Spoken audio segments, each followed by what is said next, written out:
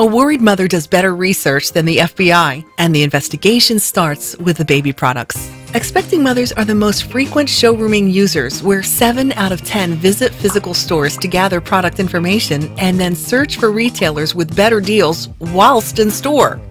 This is a huge challenge for Babyshop, which invite expecting mothers to their physical stores to get advice and assistance. Unfortunately, price focused retailers are often depriving Babyshop of sales through in store search. So, how could Babyshop meet the rising challenge of showrooming?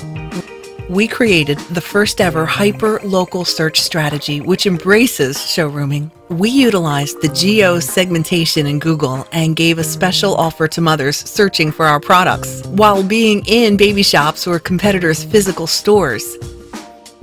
The search communication directed the mother to an individual coupon which gave the showroomer a 20% discount on that specific product, but only if they bought within 24 hours. This really engaged the expecting mothers. The activity used only half a percent of the total search budget, but produced 19% of the total revenue from paid search. This resulted in an ROI of 59, which is almost 2,500% higher than Babyshop's average search ROI of 2.3.